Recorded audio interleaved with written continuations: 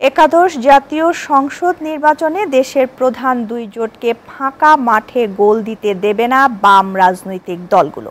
ক্ষমতার প্রশ্নে ও সংসদে কার্যকরী ভূমিকা রাখতে দল ও জোটকে গুছিয়ে নিচ্ছেন নেতারা। নির্বাচনকে ঘিরে নতুন মেরুকরণের ইঙ্গিতও দিচ্ছেন বাম নেতারা। বিস্তারিত জানাচ্ছেন ফরজানা শোভা।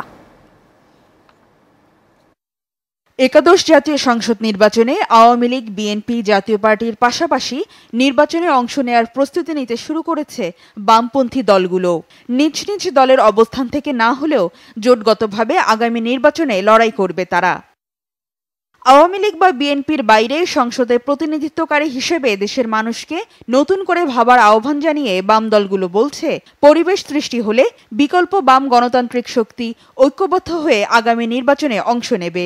এ বিষয়ে সিপিবি বাসদের সঙ্গে দফায় দফায় আলোচনা চলছে বাম নেতাদের। এইবারের নির্বাচনে কেবলমাত্র দ্বিমুখী প্রতিদ্বন্দ্বিতা হবে না, এটা ত্রিমুখী প্রতিদ্বন্দ্বিতা হবে।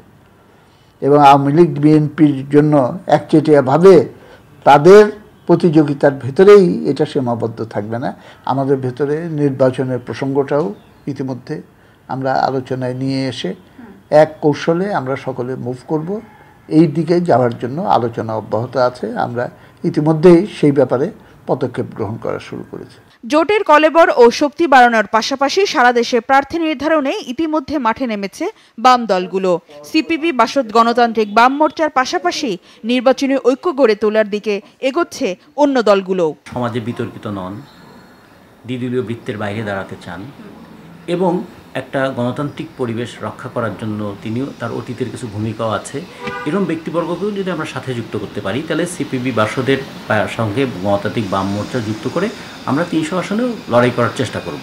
গত বছরের শেষ দিকে গণফোরাম কৃষক শ্রমিক জনতা লীগ জেএসডি নাগরিক ঐক্য সহ আরও কয়েকটি দলের সমন্বয়ে গড়ে উঠেছে যুক্ত ফ্রন্ট। পরিবেশ অনুকূল থাকলে জোটগতভাবেই নির্বাচনে অংশ নিতে প্রস্তুত তারা। সরকারের বাইরে যে রাজনৈতিক দলগুলো আছে সবাইকে বড় আকারে একটা জাতীয় ঐক্যপণ করার জন্য আমরা চেষ্টা করব। যুক্তফ্রন্টের জন্য দরজা খোলা, অন্যান্য রাজনৈতিক দল সবার সাথে মিলে আমরা বড় আকারের একটা ফ্রন্ট এটাকে যাতে ব্রডবেজ করা যায় এক্সপান্ড করা যায়, সেটা আমরা চেষ্টা করছি। তবে নির্বাচনের পরিবেশ থাকলে অবশ্যই আমরা নির্বাচনে অংশগ্রহণ করব। দলগতভাবেও করব যুক্তমন্ত্রভাবেও করব। দেশে বামপন্থী রাজনৈতিক দলের সংখ্যা দেড় ডজনেরও বেশি। এসব দলের মধ্যে সরকার ও বিরোধী জোটের সাথে সক্রিয় কয়েকটি দল।